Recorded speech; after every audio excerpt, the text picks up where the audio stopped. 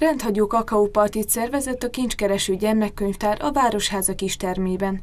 Az összejövetelek állandó részei, mint a meseolvasás, kakaózás, illetve teázás, ez alkalommal sem maradtak el. Ezt követően karácsonyi díszeket készíthettek a gyermekek. Elmondtad, hogy mi van rajta? Hókihó, És miket ragasztottál még rá? csengő, És kivel készítetted? Körülbelül két éve járunk, jó mesék vannak, jó programok, és jó a társaság. Nagyon kedvesek a könyvtárba, a könyvtárral is ismerkedik egy kicsit, és ketten vagyunk, közös programot tudunk ilyenkor együtt csinálni.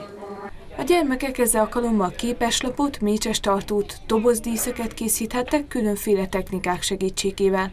A kincskereső gyermekkönyvtár jól megszokott programjai a 2017-es évben is elérhetőek lesznek, de újabb terveik is vannak. Az iskolák felé szeretnénk nyitni, ami azt jelenti, hogy egy adott program kínálattal állunk eléjük, amiből ők válogathatnak, és előre tervezhető lesz az, hogy amikor az anyagrészsel odaér az iskola vagy az osztály, akkor tudjuk biztosítani nekik azokat a foglalkozásokat, amik illenek az ő tantervükbe.